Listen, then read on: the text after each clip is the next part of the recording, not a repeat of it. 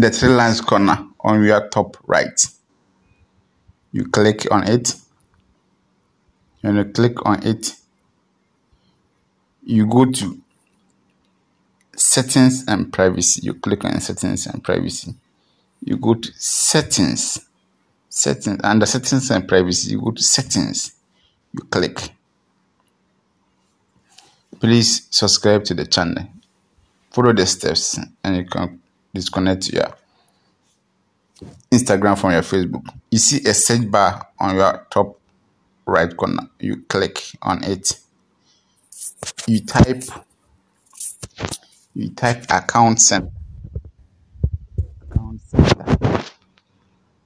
Account center. So this is the account center. So you click on the account center.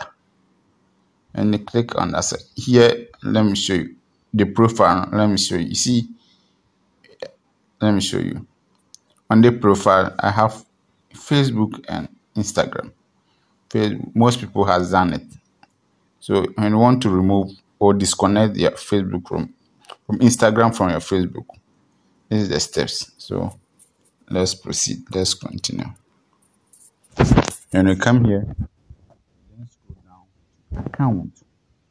You click on account. You see remove Facebook side, you see remove.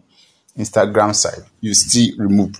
But our motive is to remove Instagram or disconnect Instagram.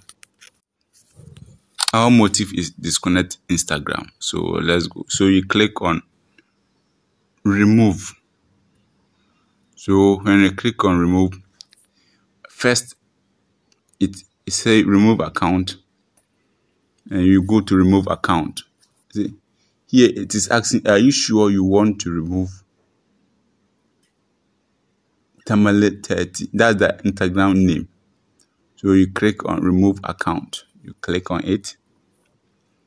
You go to continue. It is asking you, yes, I want to remove. And you click yes, I want to remove. It is processing. Good. You are, you remove Team 30. So which means I have removed my Instagram from Facebook. You see, there's no Instagram here, which means I have disconnected my Instagram from Facebook. So this is how you do it. Kindly subscribe to my channel. Thank you.